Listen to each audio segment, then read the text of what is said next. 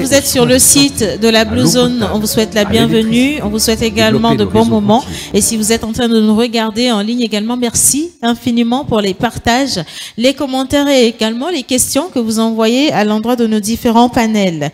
En parlant de panel, nous sommes sur le panel 3 que je m'en vais vous introduire et qui a pour thème la femme africaine, un acteur à part entière du processus d'industrialisation et de la transformation structurelle du continent.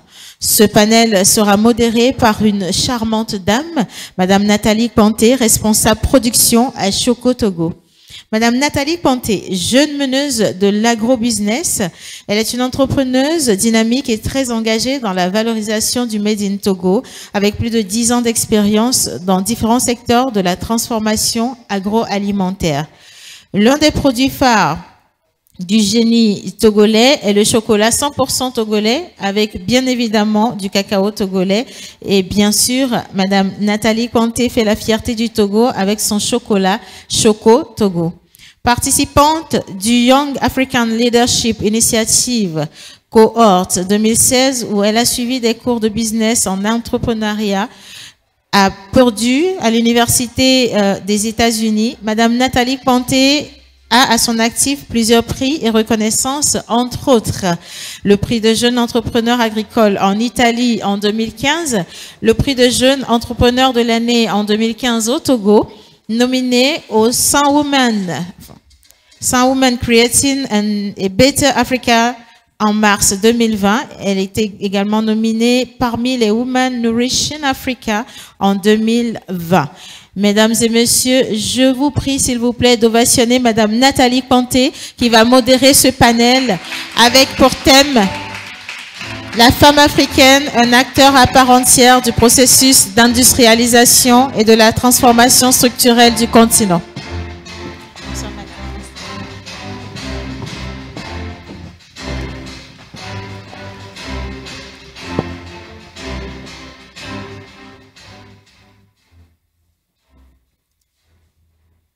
Mesdames,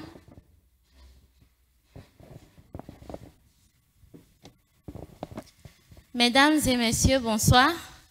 Euh, nous saluons chaleureusement tous ceux qui nous suivent en ligne. Euh, j'avoue que c'est un peu compliqué de parler après notre chère Océane Kodia, mais c'est un plaisir.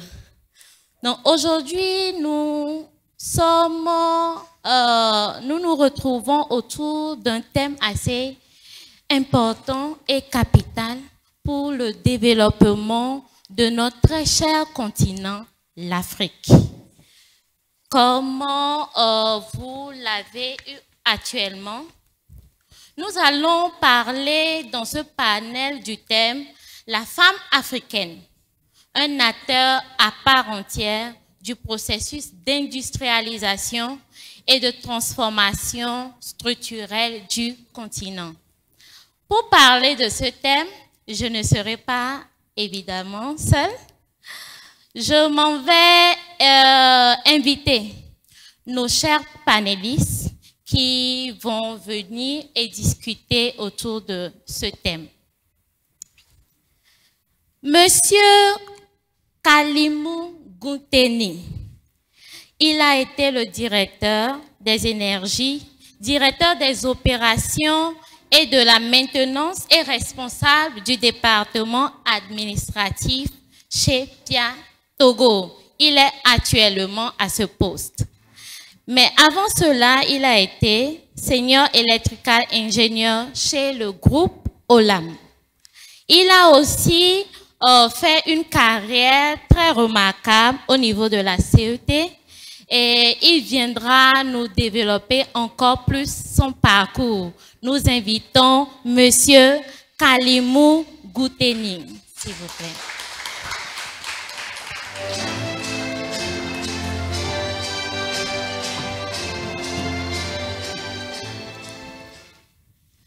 Nous aurons aussi une charmante dame, vous verrez. Elle s'appelle Madame Deladem Soda Tonou. Elle est diplômée en action commerciale et force de vente. Elle a travaillé en tant que commerciale dans des entreprises à Lomé. Mais elle a décidé à un moment donné de créer sa propre entreprise qui est Anaïs Concept. C'est la reine aujourd'hui des emballages et des coffrets cadeaux au Togo. Accueillons Madame Deladem Soda Tonou.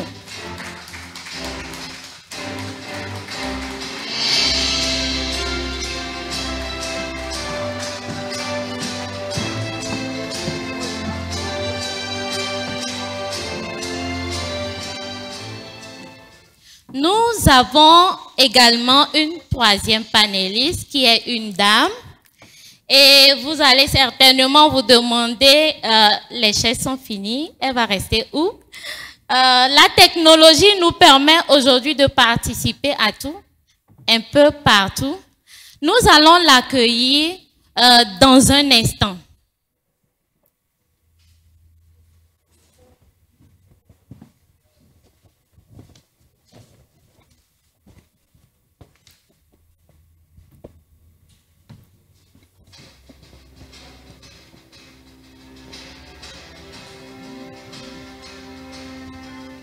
Très chers panélistes, soyez les bienvenus. Merci. Merci Nathalie. Merci Nathalie. L'année 1975 avait inauguré la décennie des Nations Unies pour la femme. L'intégration des femmes au développement économique. Le nouveau leitmotiv a alors alimenté conférences, séminaires et études. La conférence de Mexico ayant marqué le lancement officiel de cette décennie a affirmé dans sa déclaration que la condition de la femme ne saurait être séparée du processus de développement. Elle a également reconnu que dans l'ordre politique, économique, social et culturel, la situation actuelle fait obstacle à la pleine utilisation du potentiel humain et matériel de la femme pour le processus de développement et qu'il était nécessaire de rechercher les moyens permanents permettant de transformer les conditions qui existent dans la région. Plusieurs décennies plus tard, que représente la femme africaine dans le processus de développement et d'industrialisation de notre cher continent. Quelles sont les difficultés qu'affrontent les femmes et qui empêchent leur participation plus active à la sphère économique et industrielle du continent? Quelle est l'importance pour le développement de l'insertion des femmes dans la production? Ce sont ces points que nous allons développer autour de notre thème. Euh, avant de rentrer dans le vif du sujet, nous allons mieux faire la connaissance de nos chers panélistes. Nous allons commencer par notre chère dame, Madame Deladem Sodatonou. Nous voulons mieux vous connaître. Merci Nathalie. C'est toujours euh, difficile de, parler devant les gens, même si plein sont loin. C'est compliqué et en plus de, parler de soi, c'est bon. On va, on va, on va essayer. Alors, euh, je suis diplômée euh, en action. voilà, c'est difficile. bon, action commerciale et force de vente. Euh, j'ai travaillé en commercial dans plusieurs entreprises au Togo, notamment la, brasserie, entre autres. Et donc après, j'ai décidé d'ouvrir notre entreprise qui est euh, une entreprise euh, en conseil en cadeau parce que nous avons vu qu'il y a un déficit de conseils en cadeau. Les gens ne savent pas quoi offrir etc. Donc, euh, c'était le début de notre entreprise. Les conseils en cadeau. Avec les, conseils en cadeau, nous avons vu qu'il y a encore des failles dans les emballages. les emballages, c'est vrai que le contenu euh, était bien, mais le contenant n'était pas vraiment top. Donc on a essayé euh, d'aller sur des contenants assez originaux pour, pour pouvoir mettre en valeur le, le contenu. Donc c'est ça. Après ça, nous avons vu également qu'il y a des produits que nous faisons qui, qui doivent être euh, mis en avant, euh, qui doivent être euh, des, des, produits qui doivent être, qui doivent évoluer en fait. Donc, c'est ce qui nous a amené à, à créer les confiseries. Alors, les confiseries, nos confiseries, comme on l'appelle, ce n'est pas vraiment la création euh, de bout en bout. C'est-à-dire, euh, les nougats, les toffees, euh, j'ai des clientes dans la salle, je vous dis bonjour. les clientes, les, nougats et autres ne sont pas des produits, des produits faits par nous. Nous, ça a toujours été là. depuis notre enfance, ça a été là avant nous. Mais le souci, c'était la présentation. Comment présenter ça de telle manière à ce qu'on puisse l'offrir aux gens euh, de manière classe. Donc, c'est ce qui nous a amené euh, à, proposer les, les, coffrets. Donc, nous avons des coffrets de confiserie que nous faisons, euh, des variétés. nous avons au total 12 variétés dans ces coffrets-là. Nous sommes conseil en cadeau également, comme je l'ai dit. conseil en cadeau, c'est tant pour les entreprises que les particuliers, euh, s'il y a un mariage anniversaire, tout ça, on ne sait pas quoi offrir. Sur cette base-là, nous proposons des cadeaux. Nous proposons du chocotogo également, pour autres, voilà. Et voilà un peu, si je peux brièvement parler de, de, moi, tu veux. Merci. Merci, Madame Deladem. Nous allons en même temps euh, nous tourner vers le monsieur du panel. Nous allons découvrir le parcours de monsieur Kalimou Gouteni. Merci, madame. Donc, moi, je vais aller du, bas vers le haut. Donc, euh, j'ai commencé très jeune à la société euh, avec un niveau bac.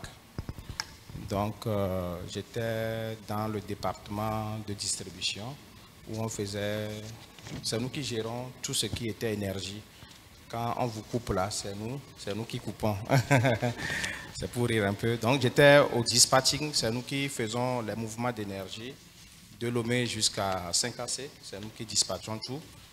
Donc euh, de là, je continuais toujours pas faire mes cours du soir, où j'ai eu après tout mon BTS. J'étais un bac F3 qui est bac électrotechnique, c'est l'électricité pure. Donc, après tout, j'ai eu le, BTS électrotechnique toujours. Donc, euh, j'ai changé un peu de département à la société où j'ai un peu eu des promotions. Donc, suite à ça, j'ai encore trouvé une école à Ouaga où je faisais des cours à distance. Et je faisais l'énergie. Je faisais l'énergie à Ouaga à deux yeux.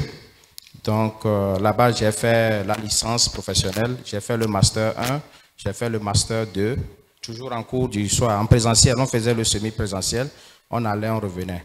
Donc euh, tous ces parcours m'ont promis encore, où j'étais le chef service maintenance. C'est moi qui gérais tout ce qui était ligne, moyenne tension, poste. Où après, j'ai encore euh, trouvé encore une école à Paris où j'ai fait un exécutif MBA en management euh, business. Euh, de là, c'est là que Pia m'a tchatché. Donc, on s'est entendu. Je faisais partie des trois premiers employés de Pia. Bon, on a commencé Pia quand c'était, il n'y avait rien. C'était, on était dans un seul conteneur, 40 pieds, nous tous. Donc aujourd'hui, quand vous voyez, c'est grand. En un an, nous avons construit là-bas, et ça n'a pas été facile. Donc, euh, j'ai eu un contrat de un an, six mois avec eux, mais au bout de un an, euh, vu le travail, ils m'ont promu en tant que... Bon, j'étais venu en tant que directeur des énergies, Et au bout d'un an, ils m'ont confié une lourde charge qui est la direction des opérations de la maintenance de PIA. Donc toute l'infrastructure de PIA, c'est moi qui gère ça. Et le département admin aussi que je gérais aussi. Donc c'est un peu mon parcours actuellement. Merci. Merci beaucoup. Euh, aujourd'hui, nous nous retrouvons autour du thème La femme africaine, un acteur à part entière du processus d'industrialisation et de transformation structurelle du continent. Euh, ma première question est la suivante. Quelle place occupent les femmes africaines dans le tissu industriel du continent? Quelle place occupent les femmes africaines dans le tissu industriel du continent? Ok, sans plus tarder, je vais directement à chaud sur cette question. Moi, je dirais que je pousse un peu plus loin cette réflexion car la femme aujourd'hui est dans plusieurs domaines. Ce n'est pas seulement l'industrialisation. Mais aujourd'hui, nous voyons la femme sur des domaines où on, ne voyait pas ça d'ici peut-être 20 ans. Aujourd'hui, la femme dans l'industrialisation, nous, nous l'avons commencé avec les femmes où nous avons à, la PIA euh, un département, un moto, où c'est rien que les femmes qui travaillent actuellement là-bas. Donc, il y a plusieurs secteurs, comme le textile aujourd'hui, qui va encore prendre forme. Les femmes seront encore là-bas. Les femmes représentent aujourd'hui euh, une, une, masse où quand on leur confie des tâches, entre parenthèses, hein, il y a beaucoup plus de confiance, il y a plus de sérieux. Donc, euh, dans l'industrialisation, on a besoin beaucoup de gens qui sont assidus, gens qui sont honnêtes, qui sont sérieux.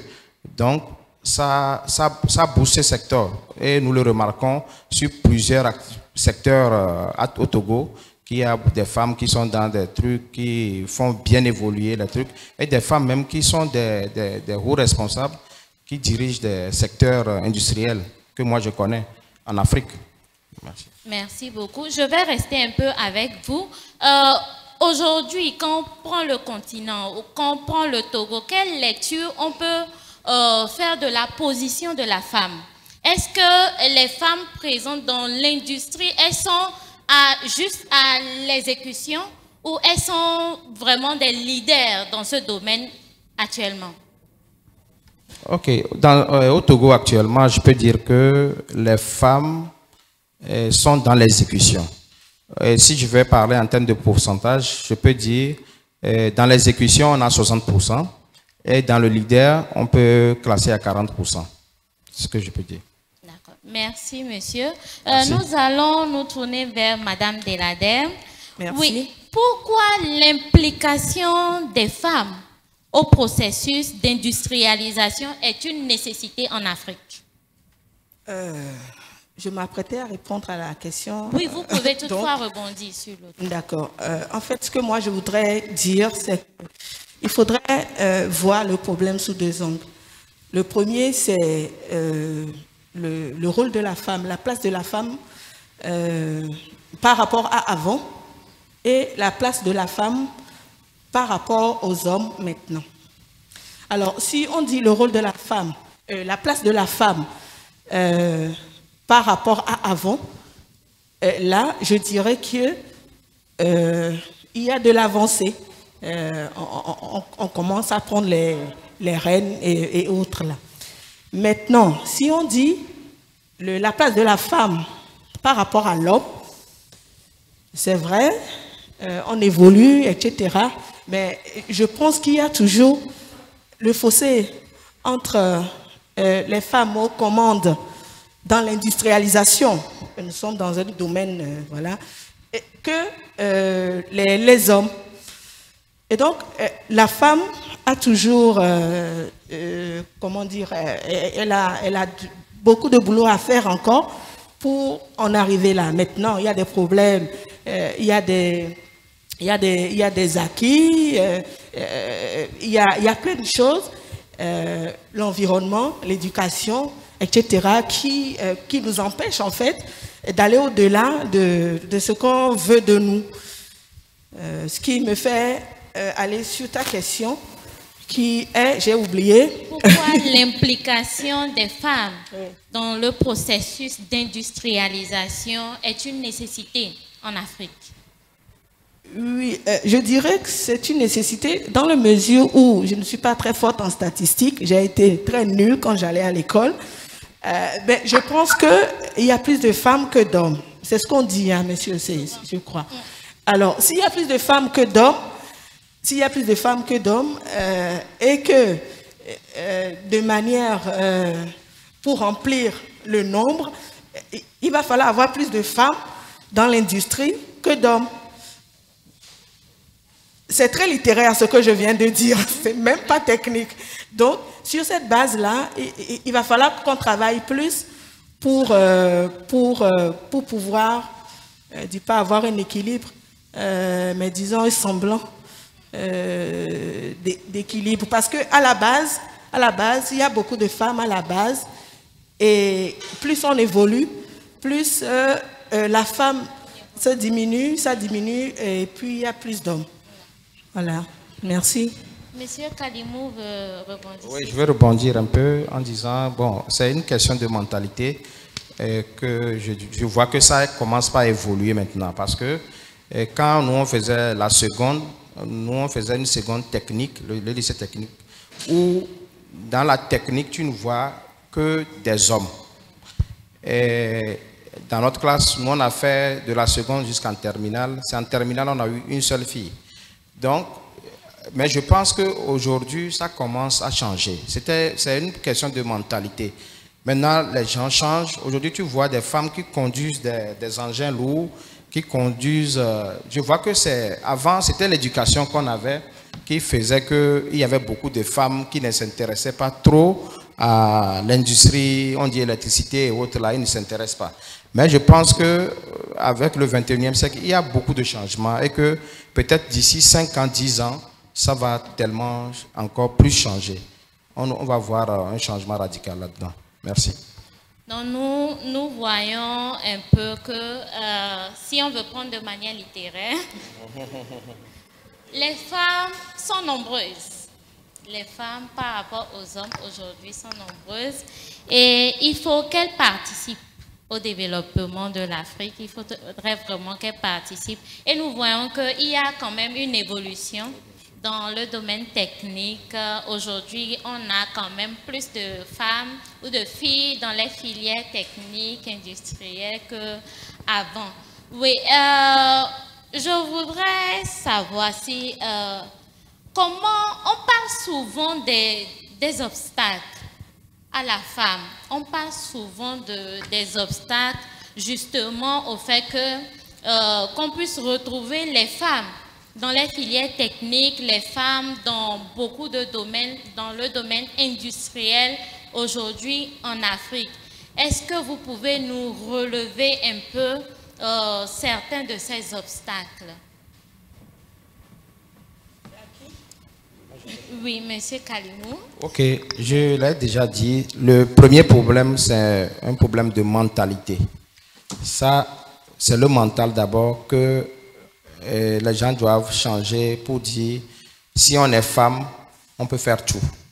Mais je pense qu'aujourd'hui, c'est ce que j'ai dit, ça commence déjà pas à entrer dans, les, dans la tête des gens. Quand on voit les filles, les femmes, les filles, excusez-moi, les filles qui cessent l'étude à partir de troisième, c'est couture, coiffure, c'est ce qu'on retrouve chaque fois. On ne sent pas des, gens qui vont faire de la lue et autres là. On a toujours tendance à faire la même chose. Donc le premier obstacle, c'est de, changer de mentalité. S'il y a eu une éducation à faire, c'est de changer la mentalité des gens, dire que non, ce n'est plus comme ça, on doit évoluer dans la tête. C'est le premier obstacle que moi, je trouve à dire pour le moment. Euh, euh, oui, euh, je peux dire, dire que ce monde est un monde atroce, c'est cruel, cruel et ça exige des qualités, des qualités qu'on appelle des qualités masculines, malheureusement. Et par exemple, si toi, femme, tu es en train de faire certaines choses, la réaction, c'est mais pourquoi elle agit comme un homme? C'est ça, c'est juste que c'est des qualités que la communauté a, qualifiées de, de masculin, des qualités de masculine. et, donc, sur cette base-là, c'est compliqué, euh, c'est compliqué de, de s'affirmer. C'est compliqué, même, c'est l'entourage même qui te dira que non, c'est n'est pas pour les femmes, c'est pas pour les femmes que c'est pour les hommes. Ce monde est un, est, un monde d'hommes. Euh, ce qui rejoint l'éducation euh, dont, a parlé monsieur. Euh, un autre aspect, je dirais, beaucoup plus physiologique, je dirais la grossesse. Qu'on le veuille ou non, ça constitue des obstacles euh, si la grossesse, je ne veux pas parler de mariage, autre, ça c'est, on peut, on, peut dire que c'est faux.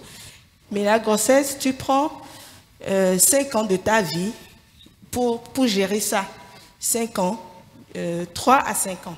C'est vrai que c'est 9 mois, mais c'est, vous savez de quoi je parle, les, les dames savent, oui, euh, c'est 3 à 5 ans s'il y a des gens autour de toi. S'il n'y a pas de gens autour de toi, si ta maman n'est pas là, si ta tante, ta belle-mère, tout ça, tu es seul avec le mari, tu peux te taper 10 ans facilement comme ça à gérer la famille. Maintenant, si tu en fais rapprocher, toi-même tu fais dans les 15, dans les 20 ans, entre-temps, le domaine ne t'attend pas. Les domaines évoluent, les gens arrivent, etc. Et, donc, ça aussi, ça constitue euh, un, obstacle pour la femme, euh, pour... Euh, euh, pour vraiment être au top de, parce que ça exige euh, des qualités, euh, l'endurance, etc., pour pouvoir aller au, bout. Donc voilà ce que je peux dire pour le moment. Merci. Madame, excusez-moi, je voulais répondre un peu sur ça pour dire que moi, je ne la contredis pas, hein, mais je donne mon point de vue où moi je trouve vraiment qu'aujourd'hui, quand on est là et on trouve une femme qui fait quelque chose de, que les hommes font. Quand les gens trouvent la femme, les gens sont ébahis. Les gens sont vraiment très contents de voir la femme faire le travail. Par exemple, moi j'avais vu euh, sur une route, il y avait une dame qui conduisait du progrès là pour... Mais les gens, les immédiatement étaient venus tout autour et ils admiraient la dame. Donc, je vois que euh, c'est des trucs que quand, quand on voit les femmes faire des trucs où on dit c'est pour c'est homme, c'est homme, je vois qu'il y a beaucoup d'admiration. Et moi, j'encourage beaucoup les gens à rentrer dans ce secteur. Pas rentrer pour rester là-bas éternellement, mais rentrer et avoir une vision vraiment très grande.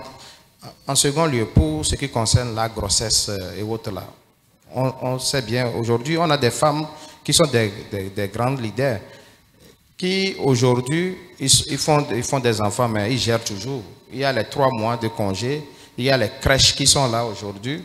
Il y a beaucoup de choses. Il ne faut pas qu'on prenne ça pour un blocage, selon moi. On doit dépasser ça. On peut trouver des solutions. Le, monde aujourd'hui évolue, on doit suivre ce monde. Je pense qu'on ne va pas rentrer dans ce schéma pour dire si je fais un enfant, je vais rester cinq ans bloqué. Bon, je trouve ça un peu... Je vois qu'il faut qu'on on avance un peu, que ça soit un truc, il ne faut pas que ça nous bloque. On, dépasse ça. Merci. Je peux dire un mot? Oui. Alors, euh, je voudrais juste dire que c'est une question de taux. Quand je parle de, ça, c'est juste une question de taux. C'est-à-dire, euh, le premier aspect dont euh, monsieur a, dit, il a, il a parlé, que les gens sont, quand, quand, quand ils voient une femme euh, commande quelque chose qui est pour les hommes, ils sont ébahis, etc. D'accord. La question est, c'est vrai qu'on voit ça chez l'autre, on admire, mais est-ce que on est prêt à laisser notre fille ou notre femme faire ce qu'on admire chez l'autre? Je vais donner un exemple qui n'a rien à voir avec ça. C'est que euh, vous connaissez euh, Danse avec les, euh, Danse avec les stars, Vous connaissez ça? Voilà. Il y a une dame qui danse euh, admirablement bien dans ça et tout, et on était en train de voir.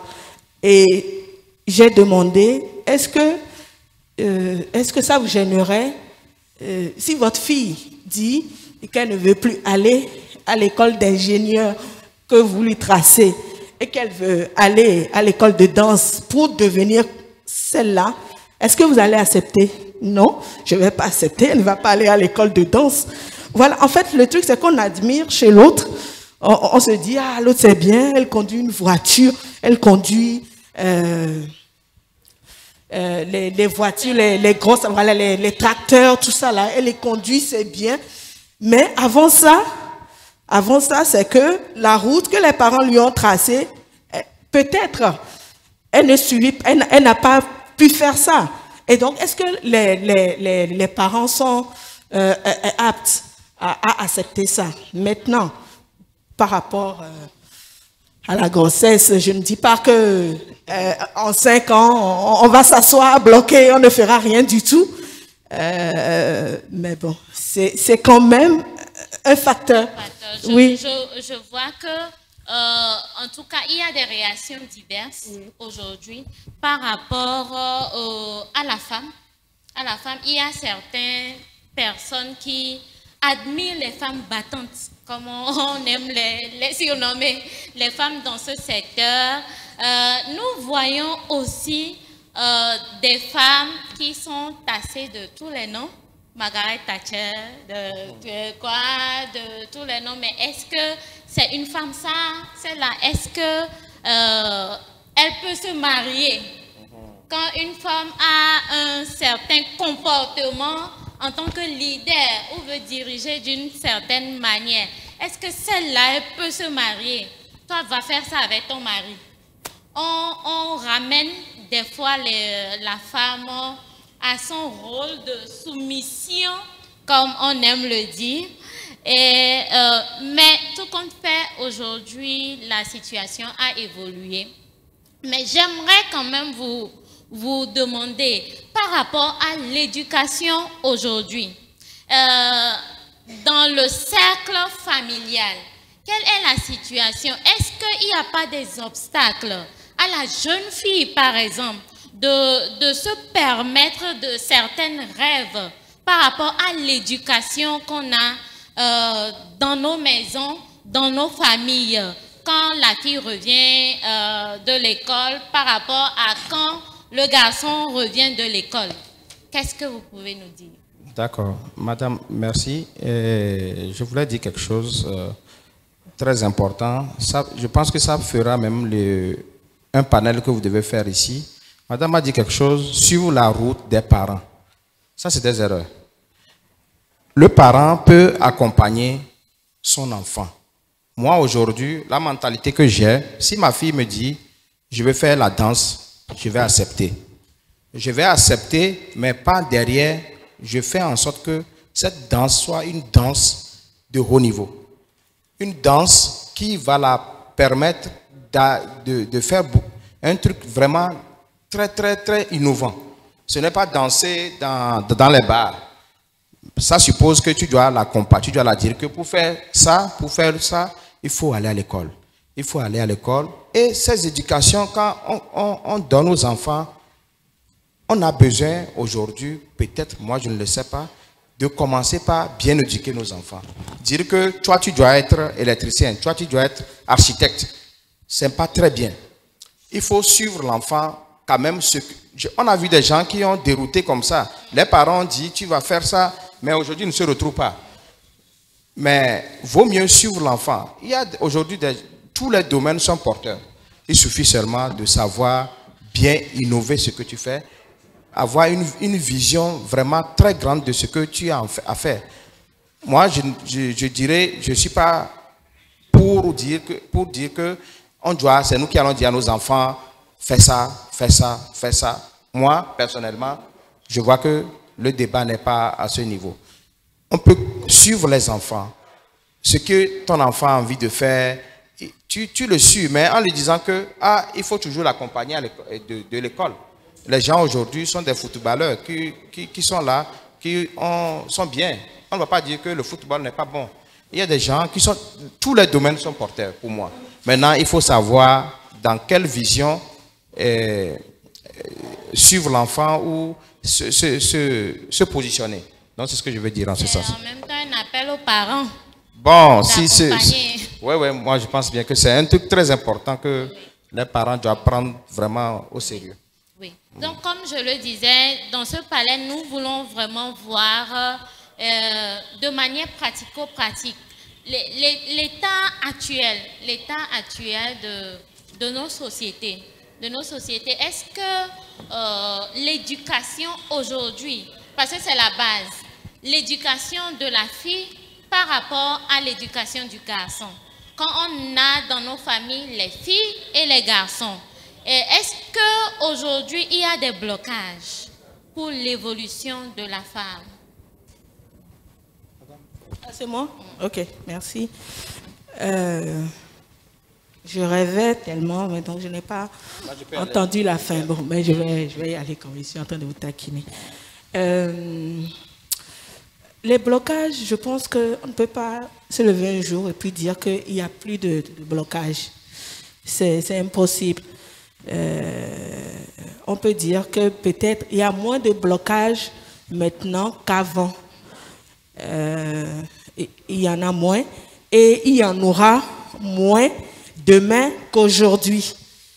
Euh, donc c'est ce que moi je peux dire sur. Maintenant, je, vais rester avec vous. Merci. en tant que femme. En tant qu'actrice du développement, euh, est-ce que vous pouvez partager vos expériences avec nous? Euh, Il y a des jeunes filles, des jeunes femmes qui nous suivent. Est-ce que votre statut de femme a constitué un frein pour vous? Dans votre industrie, dans votre parcours, dans votre entreprise? Euh, alors, la, question est difficile pour moi parce que euh, euh, elle est difficile dans ce sens que... Est-ce que vous avez rencontré des obstacles par rapport à votre statut? Oui, je, continue de dire que la question est difficile. la question est difficile, Nathalie, dans ce sens que personnellement, et moi dans ma tête, euh, a priori, rien, rien ne, rien ne m'effraie, rien ne me, ne me bloque. Et, donc, sur cette base-là, peut-être, c'est sûr, hein, je dirais pas, euh, c'est sûr qu'il y a eu euh, des propos, des propos qui peuvent te blesser, des propos, des, actes qui peuvent te blesser. mais tout est question d'éducation, comme il a dit. Et en plus, euh, l'éducation des, parents, mais l'éducation que toi-même tu te donnes. Alors moi, mes parents ont fini. Euh, il paraît qu'à 7 ans, c'est fini. Et mes parents ont fini depuis 7 ans. Et de 7 ans à maintenant, euh, j'ai pris la relève. Pris la relève. donc, c'est sûr qu'il y a des actes, c'est sûr qu'il y a des paroles, c'est sûr qu'il y a... Par exemple, moi, quand je vais quand je vais voir un client pour la première fois, il ne me connaît pas, etc., je pense à m'habiller toujours en manches longues, euh, euh, salade, voilà. C'est un réflexe pour moi. En fait, c'est pour éviter des, amalgames, c'est pour euh, tout ça là. Alors qu'un homme, je suis sûr qu'un homme va se lever, il se jette dans un habit comme ça là, et puis il va en prospection. Alors que moi, en tant que femme, j'ai à cœur et à, cœur et à l'esprit ce détail-là, ce détail qui est, un détail pour un homme, pour euh, aller voir un client. Et il y en a plein, il y en a plein. Euh, peut-être en parlant, d'autres vont me, revenir et puis je vais, je, vais en parler. Merci. Euh, j'aimerais juste rappeler à ceux qui nous suivent en ligne et même dans la salle qu'ils auront l'occasion de poser des questions et d'intervenir aussi par rapport à ce thème. Euh, Monsieur Kalimou, euh, j'aimerais vous demander, est-ce quels sont, quand on parle aujourd'hui de l'Afrique, euh, du Togo, quelles sont quelques success stories, quelques réalisations de femmes qui vous, vous épatent ou qui vous font plaisir? Il y a déjà une dame à côté. Merci, c'est gentil. Il y en a plein, hein. il y en a plein, il y en a plein que je connais. Je ne peux pas citer, mais aujourd'hui, vous-même, vous savez, il y a... Oh, là, maintenant, le problème, c'est que vous avez dit quelque chose en tant que les hommes, les hommes maintenant, là, nous, c'est les femmes travailleuses qu'on veut. On ne veut plus les femmes. J'ai trouvé un mari. Par Vous êtes marié C'est ça. On ne veut plus des femmes gardées à la maison. On veut des femmes battantes. Celles qui vont nous doter aussi. Entre parenthèses. Donc, ça. les femmes, préparez-vous. Donc, c'est ça. Merci. D'accord, Madame Deladen. Euh, non, j'ai trouvé un mari, je pense. Vous êtes mariée. Et donc, c'est, non, deux femmes, c'est pas, c'est pas, c'est pas grave.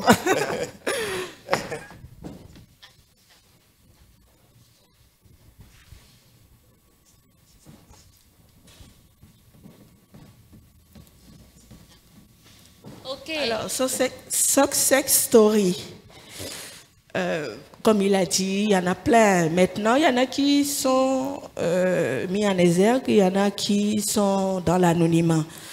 Euh, celles, enfin, les dames, celles qui sont dans, l'anonymat, on ne les connaît pas, mais on, sait qu'elles se battent beaucoup, beaucoup. celle qui, dont on parle souvent, Choco Togo, en fait partie, Nathalie Panté.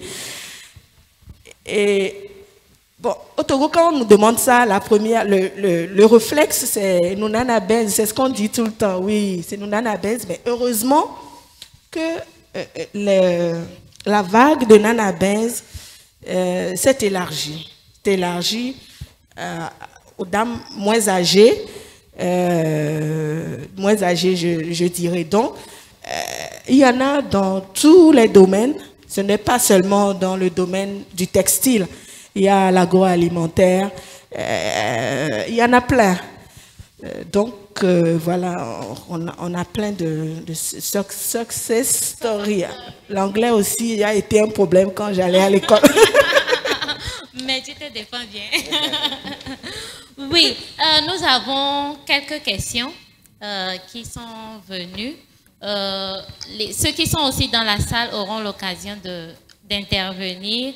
Euh, la première question, je crois que c'est pour M. Kalimou. Euh, à la plateforme PIA, est-ce que la femme s'est déjà retrouvée dans des situations d'harcèlement ou de brimade abusive Est-ce qu'une de ces situations ont déjà relevé au ont déjà été relevés aux responsables?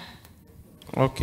Bon, je ne La question pas de l'harcèlement. Oui, oui. L'harcèlement au boulot, non? Oui. Euh, je ne suis pas le RH, mais quand même, s'il y a de ces trucs, j'aurai écho. Mais je n'ai jamais entendu parler de ça. Dans les, les, femmes, les femmes sont très respectées à PIA. Et il y a des... Ce mois même, c'est le mois rose chez nous où toutes les femmes ont des trucs roses qu'ils portent. Mais les femmes sont vraiment très chouchoutées chez nous. Merci. Euh, je, je, peux placer un, mot. En fait, je pense que ça aussi, ça fait partie des, des obstacles euh, pour la femme. Mais, à l'inverse, euh, il y a des hommes aussi qui se font harceler, mais juste parce que la communauté ne leur permet pas de parler. C'est comme les hommes battus on les, on les bat bien bon, comme on dit, mais on n'en parle pas. Mais c'est dans les deux sens aussi. Mais je pense que pour la femme, euh, c'est beaucoup plus, euh, euh, plus, plus grand que pour l'homme. Donc ça fait partie aussi, puisqu'on on a dit plein de choses sans ça, ça fait partie des, des obstacles pour l'évolution de la femme. Mm. Évidemment, il faut, pour certains, c'est assez compliqué c'est vraiment des situations compliquées où c'est apprendre ou à laisser. Et il faut faire un choix. Et je pense que beaucoup de femmes ont su relever euh, la tête de ces situations. Euh, la deuxième question, je crois que c'est à qui veut la prendre. si à la tête d'une société, vous vous retrouvez en face de deux dossiers, un premier d'un homme et une seconde, un, seconde d'une femme handicapée. quel dossier priorisez-vous? Je, peux répondre? Oui. Moi, je ne réfléchis pas. Euh, quel est le poste? Le poste, euh, est-ce qu'elle a les capacités pour... Est-ce que le, dossier, ce dossier a les capacités pour assumer ce poste? C'est tout. Maintenant, euh, homme, femme, tout ça là, je ne suis pas dans l'humanitaire, je ne suis pas une ONG, etc. Je suis une entreprise qui a des, une obligation de résultat. Et donc, sur cette base-là, je n'étudie pas le dossier euh, sur la base de hommes, femmes, euh, handicapés, excusez-moi, et, tout ça. Non, j'étudie le dossier sur la base des compétences. Merci. Oui.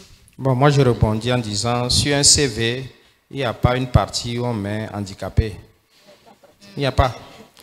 On ne met pas, c'est juste la photo. Lors de l'interview, vous venez, vous, voyez la personne qui se présente. Est-ce que ça va euh, poser un frein à sa candidature? Non, moi, je ne trouve pas un frein tant que le profil, par exemple, si l'handicapé voit que le profil, par exemple, je ne me moque pas des handicapés, que Dieu nous pardonne. Si c'est pour monter un poteau, l'handicapé sait que je ne peux pas monter un poteau. Donc, il ne va pas postuler. Maintenant, si c'est rester devant un computer pour peut-être faire des travaux, elle va se donner à fond. Donc, c'est un truc de profil qu'elle va choisir ou qu'il va choisir et qui correspond eh, à ce, ce truc-là. Moi, c'est ce que je trouve. Merci. Euh, je pense que l'internaute a eu sa réponse. Euh, il y a une troisième question aussi. Bon, euh, la question c'est pourquoi devient-il si important de revenir sur les questions de la femme? Tout le temps, la femme. Journée internationale de la femme. Après, c'est la fille. Après, c'est la mère. Après, je ne sais pas quoi. Tout le temps, c'est la femme.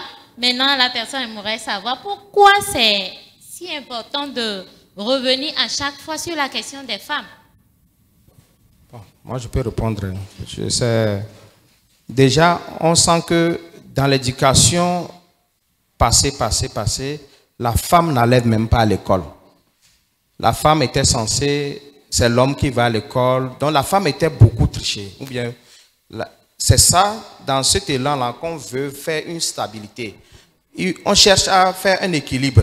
C'est pour ça, on crée tout ça pour euh, mettre dans la mentalité des gens, la femme, l'homme, c'est la même chose. Donc, je pense que c'est en ce sens qu'on crée des trucs pour la femme, la femme, la femme, la femme.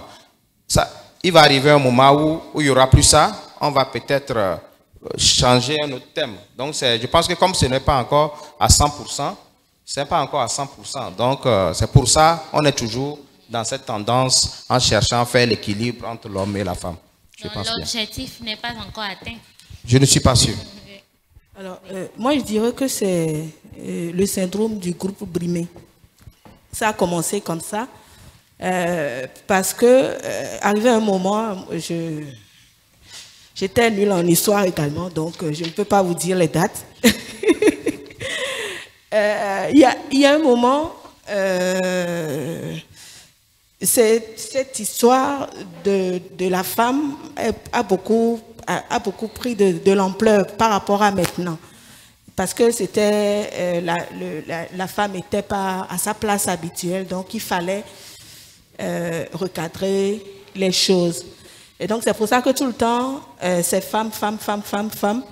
Et c'est vrai que c'est fatigant parce que tout le temps c'est la femme.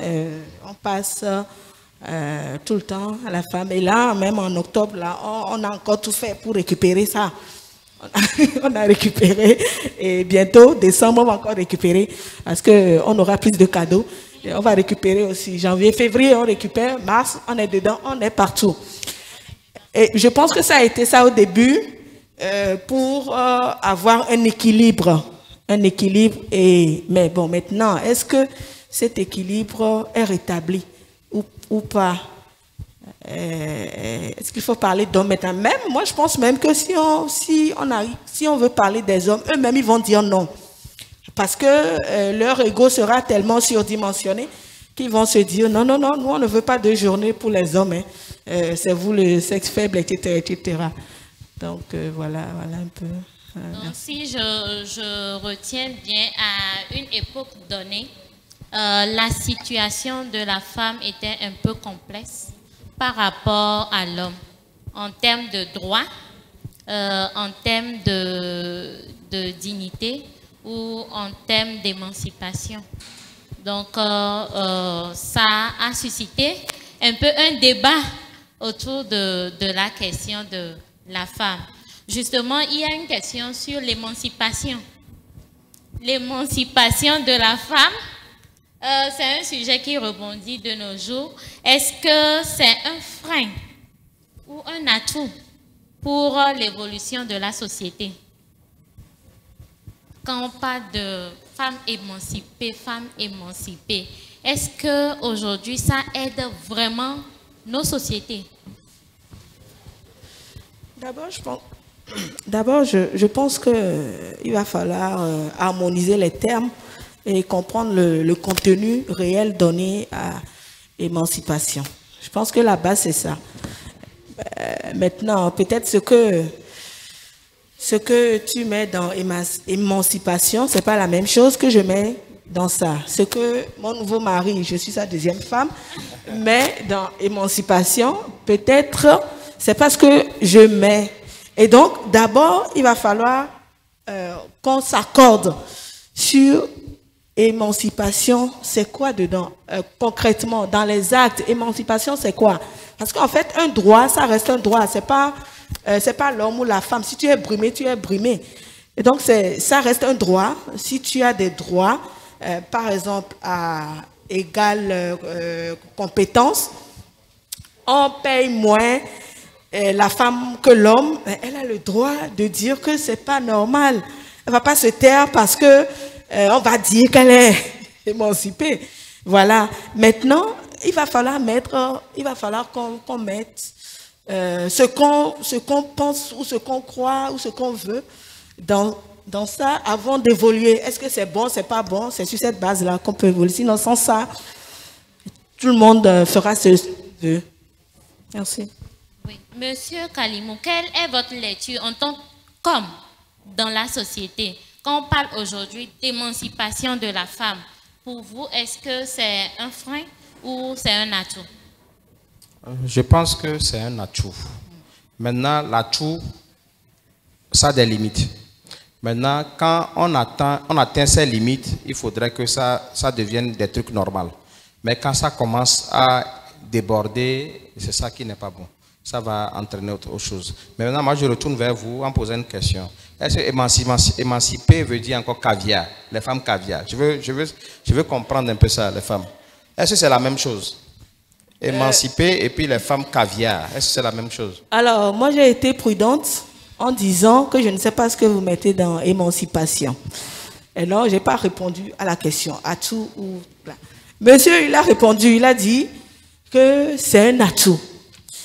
Et avant de répondre à cette question de, caviar, euh, tout ça là, je voudrais qu'il me donne euh, un exemple euh, précis sur un acte, tout ça là, qui, qu'on peut qualifier d'émancipation de la femme.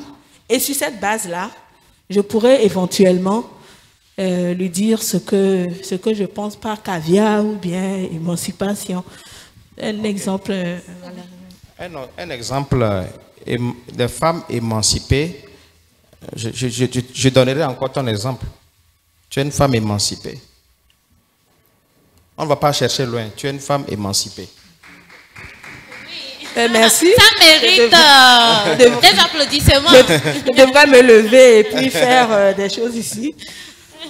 Bon, euh, c'est vrai qu'il m'a eu en disant ça, parce qu'il me retourne la question maintenant en disant qu'est-ce que moi j'entends par émancipation, tout ça là.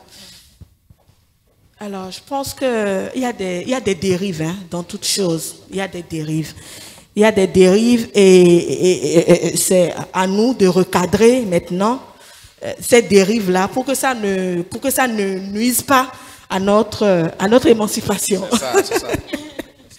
Donc voilà. Pas, faut pas déborder. Pas déborder, déborder ce que j'ai dit. Maintenant, je, vais rester un peu avec vous nous allons parler de la plateforme PIA.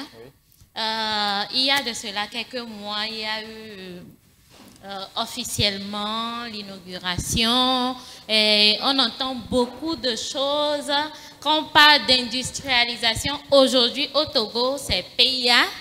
Euh, maintenant, pour les femmes du Togo, qu'est-ce que, les femmes togolaises peuvent espérer de, cette plateforme? Euh, nous avons relevé que les, femmes sont plus dans l'exécutif aujourd'hui.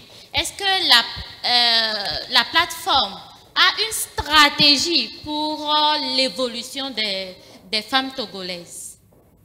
D'accord, merci. Donc je dirais à chaud que sur un personnel de pratiquement 70 personnes, je pense que les femmes doivent être un tout de 30. Hein. Il y a au moins 30 femmes. Et dans le, dans le management, on a des femmes, des, des, dames qui, sont, qui ont des postes de responsabilité, qui font beaucoup de choses sur le projet. Il y a les femmes qui sont là à l'opération aussi. Il y a plein de femmes. Donc les gens en profitent aujourd'hui. Donc euh, euh, les, femmes ont leur place. Les femmes ont leur place et on a beaucoup de femmes, surtout côté industrie. Je sais qu'on va prendre encore beaucoup de femmes qui vont travailler. Actuellement c'est en progression, en pleine progression.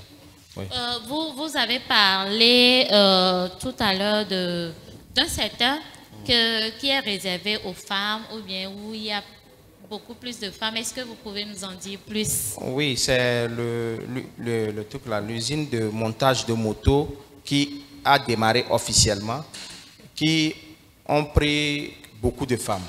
C'est les femmes, les femmes sont en majeur beaucoup là-bas. Donc c'est des stratégies aussi pour, euh, lorsqu'un projet vient, on permet aux femmes de de dire que les femmes aussi peuvent travailler, les femmes ont besoin de travailler et autres. Donc, c'est une stratégie de l'entreprise de prendre beaucoup de femmes et de leur donner de l'emploi. Merci. Donc, euh, le, la plateforme a une stratégie pour la promotion de, bien sûr, bien des sûr. femmes. Oui. Oui, merci. Oui. Euh, il y a des questions qui oui. nous sont encore parvenues. Euh, il y a un internaute qui voudrait savoir les freins. Qu'est-ce qui représente les freins pour la femme elle-même? La femme elle-même, pour le développement de la femme elle-même. C'est la mentalité. C'est le mental. Tant que le mental, dans le, dans le, mental, tu te dis, il faut savoir là où on va. Il faut se fixer des, des objectifs. C'est le mental. Si le mental est bon, tout marche. Tout marche. Ouais, c'est ça juste pour vous inviter à notre mariage. non, c'est juste pour dire que j'ai pensé à la même chose. C'est le mental. Et voilà. Il y a un cri de cœur ici. Euh, la femme africaine est une femme capable. Donc pourquoi la société hésite des fois sur le sujet de la femme? Disons-nous la vérité. Euh, on, a, on a quitté quelque part, on est arrivé à une étape, mais aujourd'hui, quand on voit l'homme et la femme, euh, la femme n'est pas trop vue comme capable. Il faudrait que la femme puisse faire des efforts, beaucoup d'efforts, pour prouver qu'elle est capable.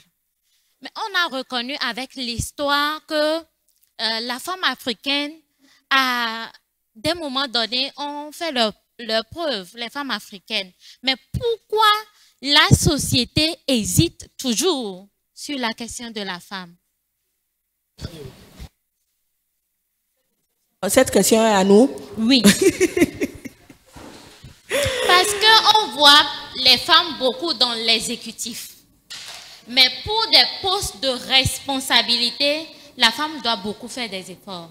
La femme doit beaucoup faire de preuves par rapport à l'homme. Pourquoi cette société aujourd'hui hésite? Madame, moi je ne pense pas hein, que la femme a besoin de faire... Quand vous vous, vous vous approchez de ces femmes qui aujourd'hui la plupart qui sont à des niveaux un peu élevés, c'est des gens qui, qui ont travaillé, c'est des gens qui se sont battus. Il ne faut pas rester dans son coin et dire que ça va tomber du ciel. Il faut travailler. Quand on travaille, ça paye. Est-ce que moi je dis Tout cela, ils ne pas. Les gens disent, les gens sont rentrés dans secte, les gens sont quoi C'est des histoires. Quand tu travailles, quand tu te bats, tu cherches. Aujourd'hui, il y a plein de gens même qui ne savent pas chercher boulot. Il y, a plein, il y en a plein qui ne savent pas déjà faire un bon CV. Les gens ne savent pas le faire. Donc, si aujourd'hui, je vais apprendre à faire un bon CV, je, vais, je me mets, je mets, je vais chercher, je vais apprendre. Je vais dire, je vais ici, je vais ici. Les gens sont là, ils attendent dans leur maison, ils disent que ça va marcher, ça, ça, ça, ça ne peut jamais marcher. Il faut se battre. N'importe quoi. C'est l'autre fois, j'ai vu quelque chose sur Facebook, sur WhatsApp, où le gars qui cherchait à jouer l'autori, il était fatigué. Même l'autori, là, même là, le gars est fatigué même de jouer. Il cherchait les numéros jusqu'à il dormait. Ça. Donc ça veut dire que rien n'est facile. Même l'autorité qu'on dit là, même le gars, les gens souffrent même pour faire les focus. Donc, pourquoi pas un truc réel? On doit se battre. Je pense que c'est ça. Euh, je dirais que l'autre face, l'autre face de la, question d'avant qui disait pourquoi on dit, pourquoi c'est le truc de femme, femme, femme là. Le revers, c'est que, arrivé un moment, nous pensons que juste en étant femme, on a droit à certaines choses. Voilà. Et donc, la base est faussée. Tu sais. Il y a plein de femmes ici euh, qui ne dorment pas. Euh, Voyage, Claudia Lingerie qui est là. Je ne connais pas les autres, mais je sais qu'elle ne, elle ne pas. Ses propos, elle est sortie. C'est elle qui fait les va-et-vient ici. Toute l'équipe de Madame euh, et, tout. Et donc, euh, c'est le, revers de, des journées de la femme, euh, des trucs de la femme, euh, du mois de la femme, tout ça là, c'est que, arrivé un moment, on, on, a cru que notre nature de femme suffit à ce qu'on nous donne un poste. C'est pas possible. C'est pas possible dans la mesure où quand on me demande si un homme et une femme viennent demander un boulot, à, à, qui tu vas donner? Mais la question ne se pose pas en termes de homme ou femme. La question se pose en termes de compétences. Qu'est-ce que tu peux faire au poste là? Maintenant, si tu n'y arrives pas, ce n'est pas parce que tu es femme qu'on refuse ça. Maintenant, il peut y arriver aussi, je ne dis pas qu'il n'y en a pas, il peut y arriver aussi ces gens de, euh, comment les, les gens de droit ont, des termes euh, où, le, droit est bafoué. Ça, par contre, ça, tu peux en parler. Mais ta nature de femme seule ne te donne pas le, le, le droit de posséder des choses ou, ou bien de te battre moins qu'un homme. Tu dois te battre au même titre qu'un homme, ou, ou même plus. Mais bon. Voilà. Donc, en résumé, il faudrait que la femme comprenne qu'elle doit faire ses preuves. Donc, euh, aujourd'hui, on parle beaucoup de promotion de la femme, émancipation de la femme, beaucoup de termes, euh, mais il faudrait que la femme comprenne qu'elle doit faire ses preuves, qu'elle doit faire ses preuves pour occuper la place qu'elle mérite. D'accord. Et dans tous les domaines, hein. c'est dans tous les domaines, pas seulement on dit je vais être euh, dans tous les domaines. Il y a des gens qui vendent toffee ici qui sont bien. Mm. Hein, il y a autre chose, il y a plein de choses, il y a plein, il y en a plein, il y en a plein. Donc c'est tous les elle domaines. battue avec toffee. Oui, elle a essayé d'innover, mm. de recréer un truc. Ça paye, c'est ça. C'est dans tous les domaines. Euh, il y a une autre question. Après, nous allons donner la parole à nos chers invités qui sont dans la salle. Euh, je sais que Madame Deladem a fait un clin d'œil à ce volet et a quitté rapidement. Euh, voilà. Euh, la question de savoir, est-ce qu'il existe des restrictions juridiques à l'entrepreneuriat pour les femmes mariées? Est-ce qu'il existe des restrictions juridiques à l'entrepreneuriat pour les femmes mariées? Autrement dit, si une femme mariée souhaite entreprendre et que son mari s'y oppose, est-elle libre de le faire? C'est vrai que j'ai passé deux ans à la fac de droit, mais je ne suis pas habilitée. Je n'ai pas l'arsenal pour répondre de manière sûre-sûre. Mais pour le peu que je sais, je sais qu'il y avait ça avant, je ne sais même pas si c'était au Togo, c'était ça avant pour conduire, pour voter, etc., etc. Là. Mais actuellement, là, je parle vraiment sous le contrôle. S'il y a un juriste dans la salle ou, sur la toile qui peut le, le, dire avec des tests, je ne pense pas avoir entendu parler d'un test comme ça qui interdit de manière juridique hein, à la femme mariée d'entreprendre. Maintenant, si tu veux entreprendre et ton mari ne veut pas, et le mari dit que c'est le droit qu'il a dit, mais va chercher, va chercher si c'est réellement ça ou pas. Ça m'étonnerait, mais bon, je n'ai pas euh, cette information-là. Donc, le, fond de la question, je pense, c'est juste de savoir que est-ce que les, les, femmes mariées, avec leur position de femmes mariées, ont cette liberté de faire ce qu'elles veulent, même si le mari s'y oppose? Est-ce qu'elle peut quand même aller?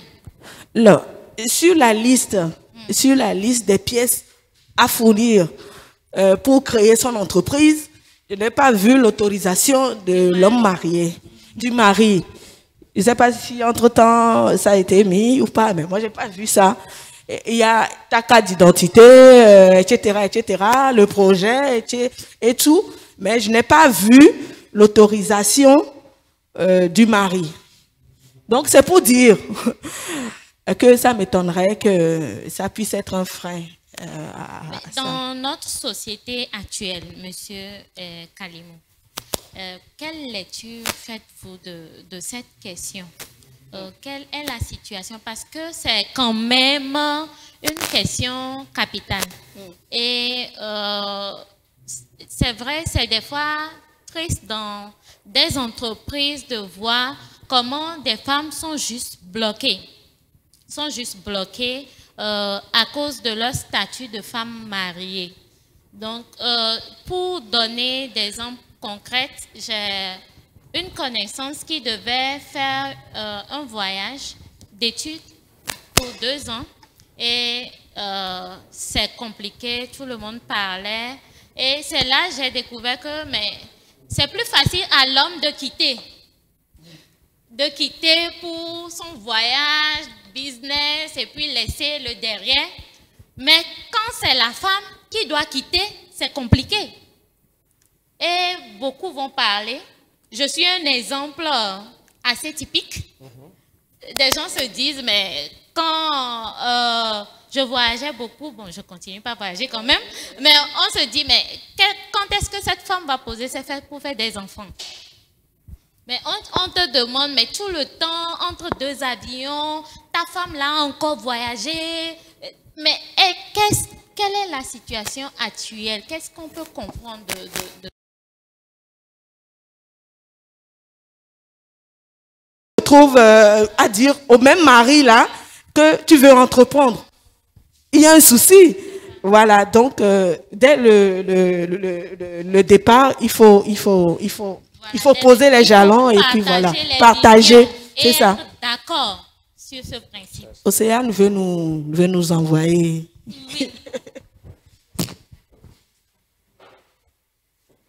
Euh, alors, le, le, temps passe vite, très vite même. Nous allons laisser la parole à ceux qui sont avec nous dans la salle pour des questions, des apports. Oui, Madame justement côté. Vous allez juste vous présenter et puis passer.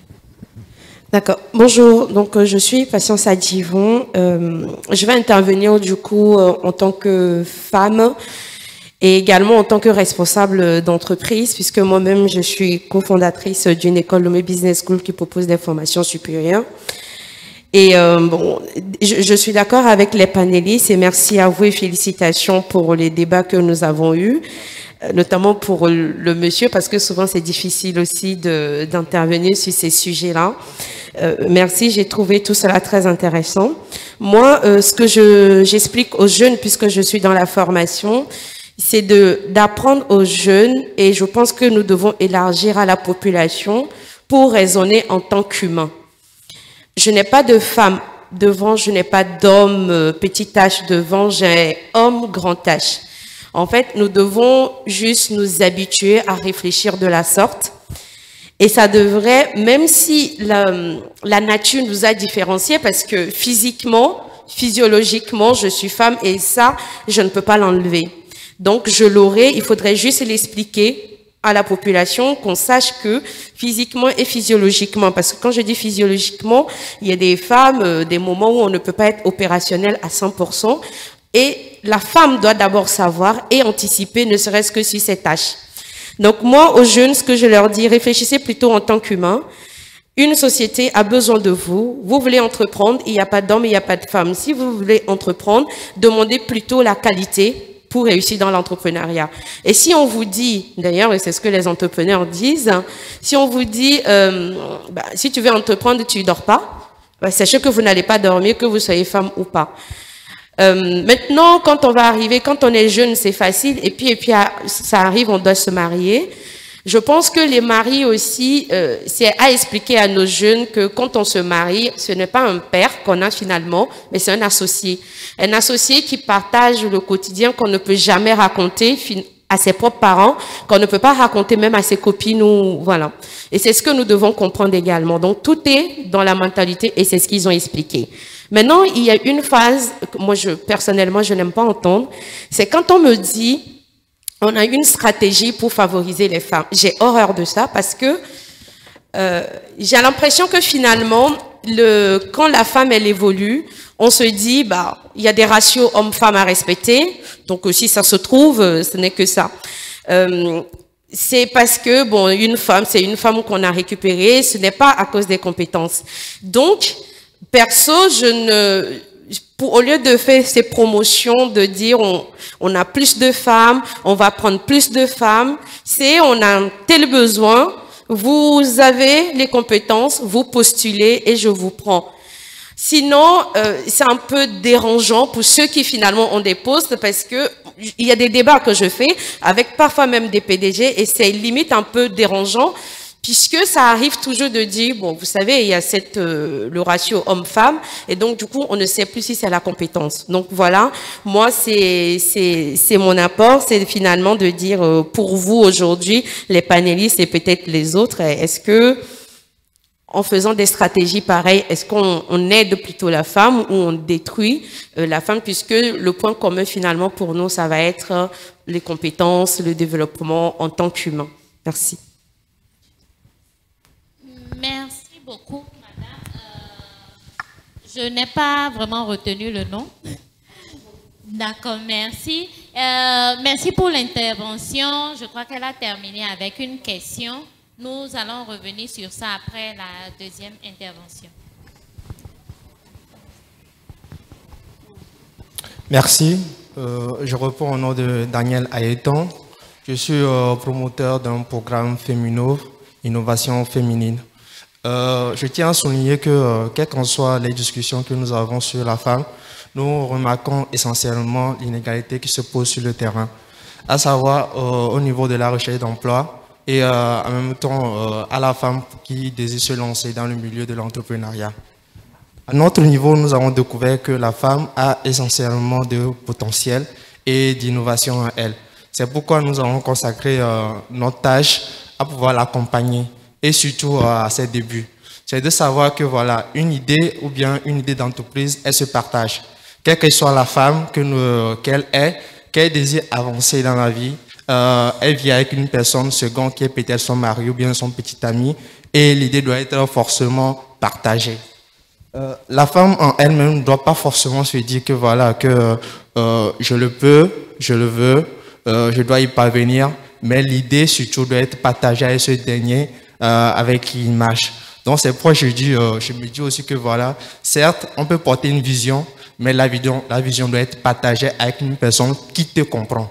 Si d'aventure tu n'as pas euh, une personne qui arrive à comprendre ta vision, quelles qu'en soient les circonstances, personnellement parlant, on ne pourra pas avancer. Euh, pour toujours avancer, c'est de savoir, la femme, nous les accompagnons dans la communication digitale, ainsi que dans les formations en développement intégral, en oratoire et en euh, communication digitale. Euh, c'est de savoir, la femme en elle, si elle démarre son entreprise toute jeune, quels sont les mécanismes qui sont mis en place pour pouvoir facilement l'accompagner? À notre niveau, nous avons remarqué juste euh, le cadre qui a été défini, à savoir les quelques pourcents qui sont légués au niveau de la jeune fille. Mais hormis cela, quels sont les autres mécanismes qui sont mis en place pour pouvoir soutenir cette jeune fille qui désire entreprendre? L'innovation, elle est déjà. Mais après l'innovation, qu'est-ce que nous pouvons encore faire? Nous, nous avons déjà démarré cette, part, cette phase, à savoir l'accompagner dans la communication digitale, mais les voies et moyens euh, financiers si je peux le dire un peu en ce thème, est-ce qu'il y en a? Est-ce qu'il y en existe? Voilà, voici un peu ma question. Merci.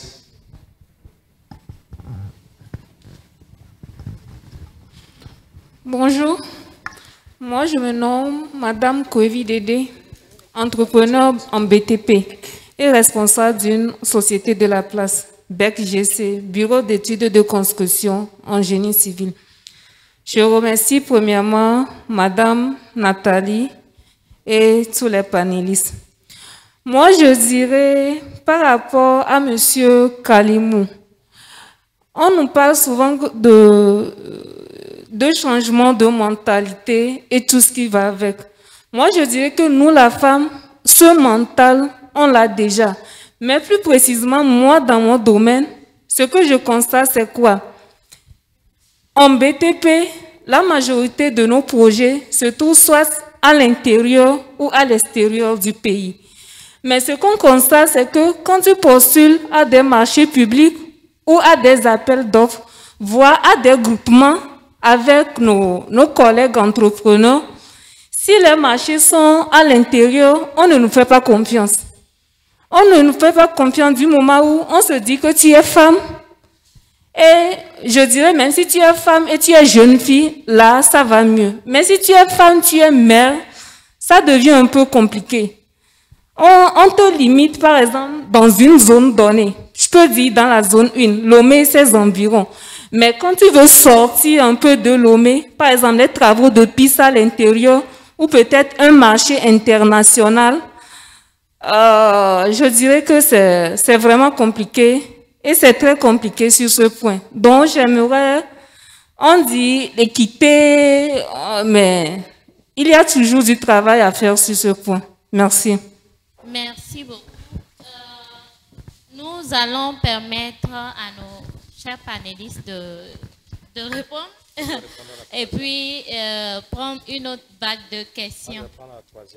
D'accord. Donc, il y a Madame Adovon qui euh, a parlé de, des inquiétudes au niveau des stratégies. Des stratégies, euh, disons, de promotion de la femme. Et finalement, si je comprends bien votre intervention, quand la femme a une position donnée, on pense que c'est parce qu'elle est favorisée euh, pour occuper ce poste-là. Euh, est-ce que finalement les stratégies de promotion, tout ça, ça aide la, femme? Oui, je peux aller. Moi, je dirais que euh, Madame, tout à l'heure, a donné beaucoup d'input. C'est-à-dire, elle a élargi le débat. Quand on fait quelque chose, on sait qu'on fait pour un groupe. Il y a dans le groupe des gens qui sont déjà à, un niveau donné.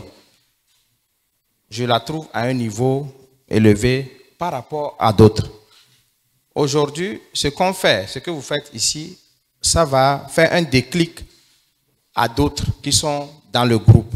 Et peut-être arriver, lorsqu'ils seront à un niveau peut-être acceptable, je pense que on va changer de cap. Donc, en résumé ce que je vais dire. Elle a bien parlé, elle a donné son point de vue, elle a ouvert le débat maintenant. Donc, c'est bien, elle a ouvert le débat. Il ne faut pas que ça fasse ça.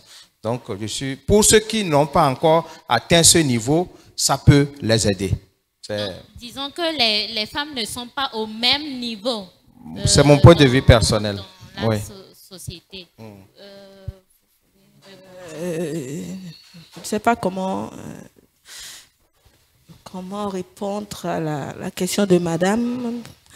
C'est vrai, elle a, elle a élargi le, le, débat, comme il a dit. Et je voulais faire une phrase que j'ai oubliée. Qu'est-ce, euh, elle voulait dire, qu'est-ce qu'elle avait demandé comme question? elle, demandait si euh, les stratégies, les promotions de la femme, mhm, mhm. finalement, est-ce que ça aide la femme? Puisque euh, quand on arrive à un niveau donné, c'est On se dit qu'elle a été poussée. Oui.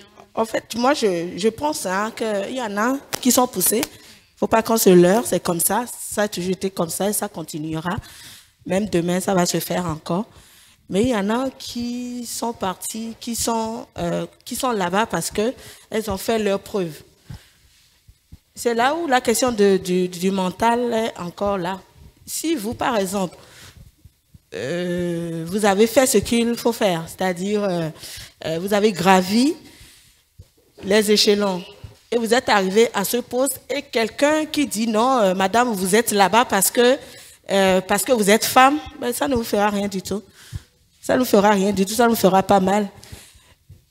C'est quand peut-être la personne a raison que ça vous fera mal. Maintenant, peut-être euh, il, faut, il, faut, faire un, un, un, 20 minutes.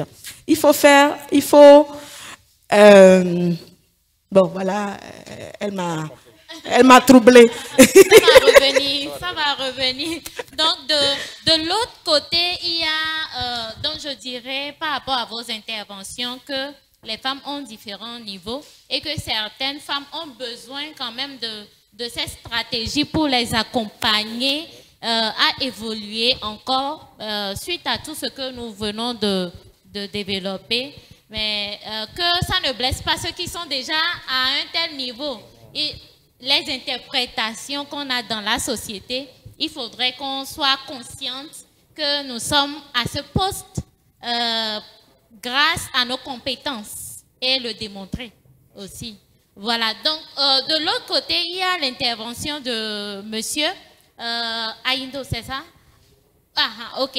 Euh, qui demandait s'il y a des mécanismes actuels mis en place pour l'accompagnement de, de la jeune fille ou de la jeune dame entrepreneuse actuellement, et surtout du volet financier? Euh, moi, j'ai envie de lui demander pourquoi il veut qu'on mette à part euh, un truc pour la jeune femme entrepreneur seule. Parce que la banque est là, les IMF sont là. Si tu es une femme ou un homme, tu remplis euh, ce qu'ils demandent, tu y vas. C'est pas parce que tu es femme et que on te demande un état que tu n'arrives pas à faire qu'on doit te doit qu'on doit te donner de l'argent parce que tu es femme.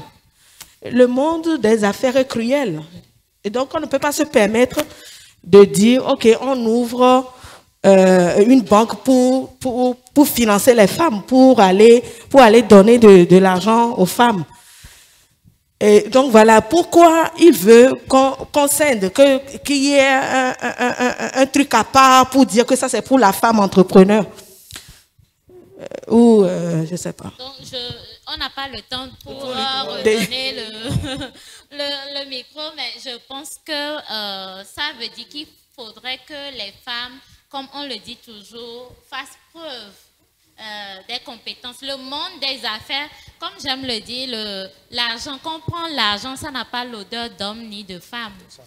OTR, quand OTR vient dans l'entreprise, l'OTR ne va pas dire que c'est femme, c'est homme. Euh, donc, il faudrait que les femmes comprennent le monde des affaires et s'y adaptent. Voilà. Maintenant, je me tourne vers...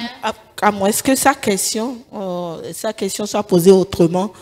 je sais qu'il y a des, il y a des, des, institutions en place qui favorisent plus la femme que l'homme. Mais maintenant, je ne sais pas s'il y en a dans le domaine financier. Mm.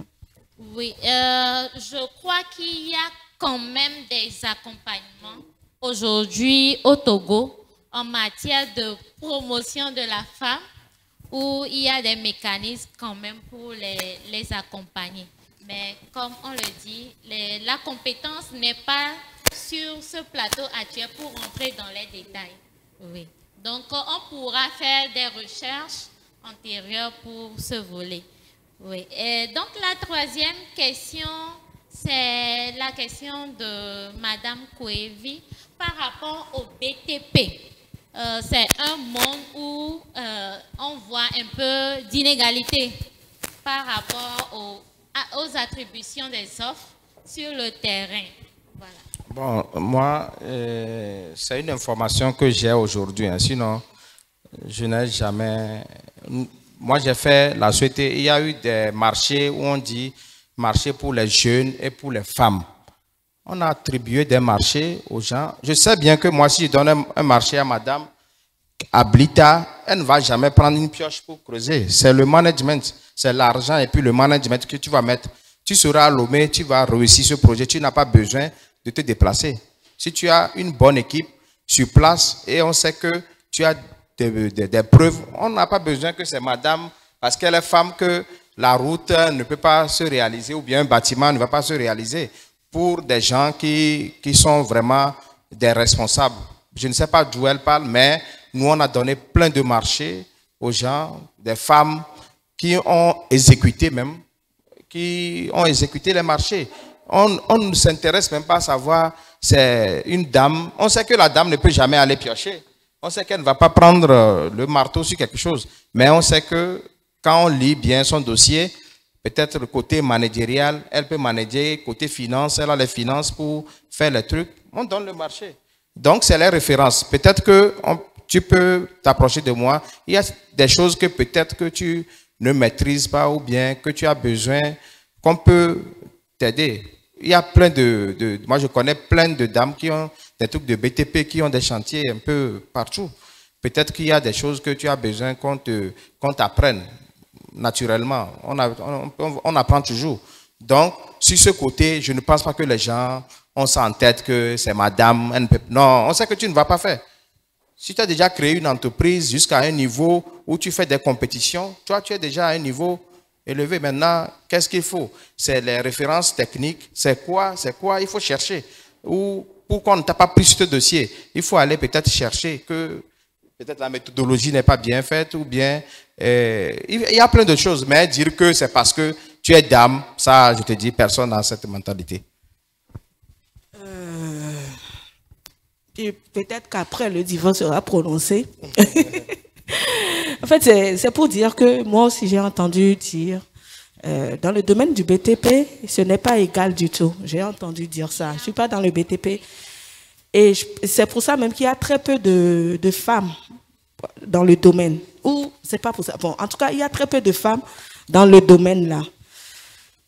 Maintenant, est-ce que les marchés sont attribués sur la base de hommes-femmes Ça, je ne sais pas. Mais je sais qu'il y a très peu de, femmes par rapport euh, à euh, aux hommes euh, dans ce domaine de, de, BTP. Et vers la fin, j'ai apprécié euh, l'intervention de monsieur parce qu'il a dit, lorsqu'on ne prend pas un dossier, lorsqu'on fait un appel d'offres, est-ce que tu fais un appel d'offres et on ne te prend pas, qu'on ne te prend pas, euh, la réaction, le réflexe ne doit pas être, ah ben c'est parce que je suis une femme. Non, il faut creuser, il faut voir, est-ce que j'ai bien rempli? Est-ce que, c'est pour par exemple, envergure, elle a passé euh, une dizaine de jours et de nuits pour remplir un appel d'offres. C'est pour vous dire que pour remplir un appel, moi, c'est compliqué. Pour remplir un, appel d'offres, c'est compliqué. Et donc, il suffit qu'une phrase ne soit pas euh, OK sur une autre page c'est fini, le marché, tu perds comme ça. Maintenant, il faut qu'on évite le réflexe de quand on ne t'appelle pas, c'est ah, c'est parce que je suis une femme qu'on ne m'a pas appelée. Non, il faut qu'on cause. Maintenant, il peut arriver que c'est parce que tu es femme qu'on ne t'appelle pas, parce que en amont, on a donné un marché à une femme qui n'a pas pu l'exécuter. Ça arrive également. Du coup, à chaque fois, au cas par cas, il faut voir avant de dire euh, comme ça, euh, c'est bon ou pas. Merci, Merci. beaucoup. Donc, nous devons pousser plus loin les réflexions et euh, heureusement que nous avons des, propositions concrètes et monsieur est disposé pour vous accompagner pour voir comment, comment améliorer comment améliorer les appels d'offres et voir qu'est-ce qui se passe euh, réellement à ce niveau. Euh, je ne sais pas s'il y a encore d'autres questions, d'autres apports dans la salle avant que nous ne clôturions la séance.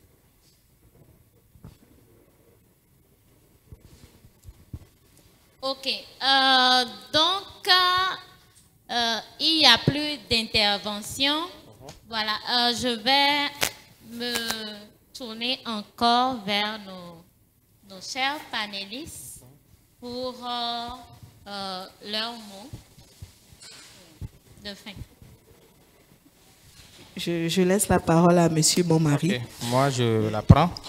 Moi, euh, pour faire un peu l'ouverture euh, du sujet global, je voudrais